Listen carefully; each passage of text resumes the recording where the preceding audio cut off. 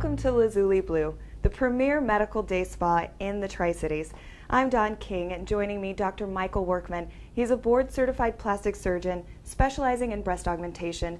Dr. Workman, according to the American Society of Plastic Surgery, over 10 million procedures were performed last year, with breast augmentation being the most popular. Can you explain why that is? No, absolutely. We're seeing a great increase in breast augmentation over the past 10 years. And I think primarily it's due to the newer gummy bear type implants and the fact that we can do it more safely. So there are a lot of options, and you just mentioned gummy bear implants. Can you explain the difference between the silicone gummy bear and the saline?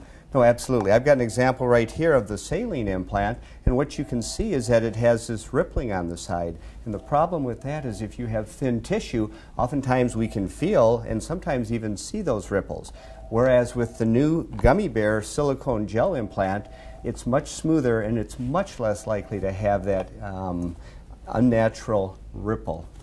That's great. So who is a good candidate for breast augmentation? Well, I think any healthy woman over 18 Okay. And uh, what should someone consider when they're trying to make the decision of which doctor to choose?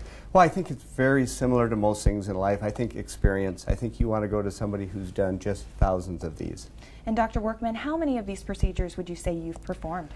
Oh, I lost track about 3,000, so many. That's, and that's primarily what we do. And so after this type of procedure, what is the typical downtime? Most women are actually able to return to work, you know, desk type activities in about four days. So that's a great recovery. Oh, absolutely. For more information, you can visit lazuliblue.com or phone 509 420 5123.